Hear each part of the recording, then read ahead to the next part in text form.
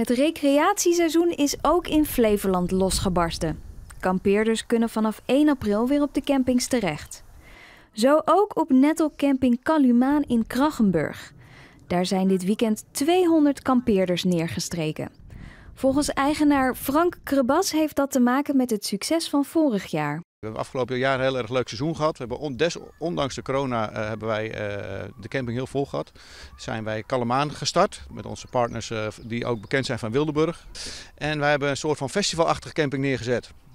En dat is een schot in de roos gebleken. De campinggasten zijn blij dat ze weer kunnen kamperen. Fantastisch, ja.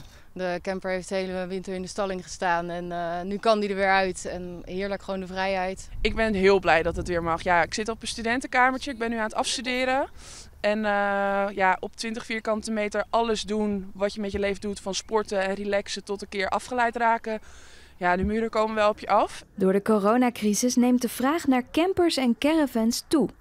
ACB in Almere ziet een toenemende interesse onder voormalige kampeerders en mensen die eerder naar verre landen gingen. De, de, verkoop liep gelukkig altijd wel goed door. Alleen nu merk je dat er ja, meer vraag is dan, dan anders. Krebas zet dit recreatieseizoen zijn zinnen op 150 nieuwe kampeerplekken en een buitenbar. We zijn nu aan het opbouwen, dus we verwachten in de meivakantie voor het eerst onze nieuwe faciliteit in te kunnen zetten. ACB verwacht dat de levering van een nieuwe camper of caravan dit jaar wel langer kan duren. De leveranciers hebben wat moeite met levering, dus op dit moment heel veel voorraad wat we gelukkig kunnen verkopen bij de dealers. Dat kunnen we uiteraard leveren, maar het aanleveren is wel een uitdaging dit jaar. Beide ondernemers hebben goede verwachtingen van dit seizoen. Als het goed is een mooie omzet, maar uh, uh, uiteraard ook heel veel blije gezichten. En dat is natuurlijk ook heel erg uh, fijn om te zien. Mensen durven denk ik nu niet alleen niet naar buitenland op reis te gaan.